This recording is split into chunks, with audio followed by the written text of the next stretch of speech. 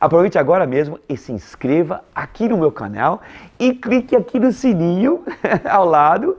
Assim, toda vez que um vídeo for publicado aqui no meu canal, você será avisada pelo YouTube.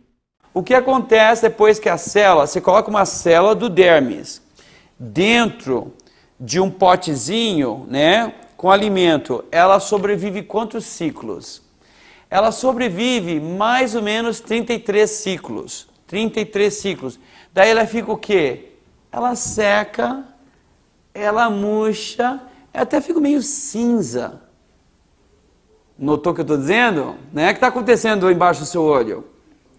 Qual é o problema? Com a passagem dos anos, a célula cansa e você para de criar colágeno. Não só isso, o, o tipo de colágeno muda.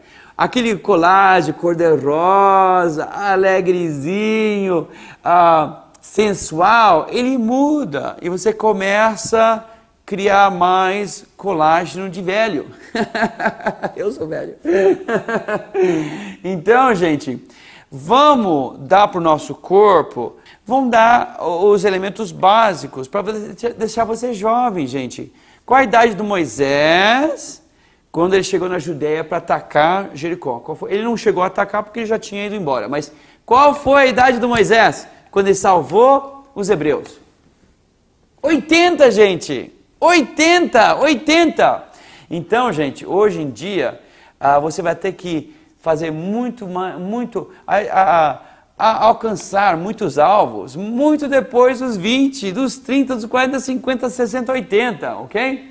Então, colágeno, especialmente esse colágeno que você pode comprar nas companhias boas, ele tem o colágeno da juventude.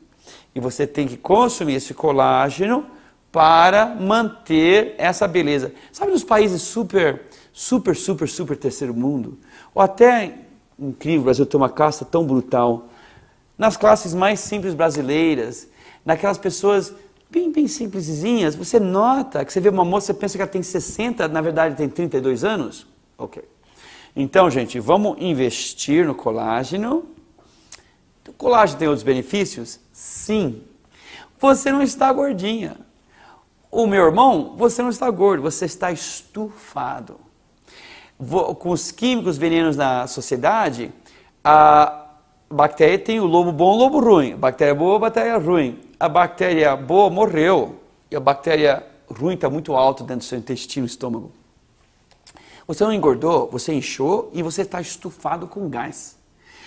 Faz uma pesquisazinha, come aquele doce de leite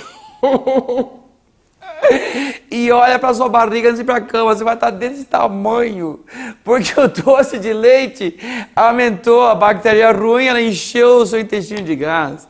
Você não está gordo, você está inchado, você está estufado. O outro benefício, faz esse, esse, essa pesquisazinha para mim.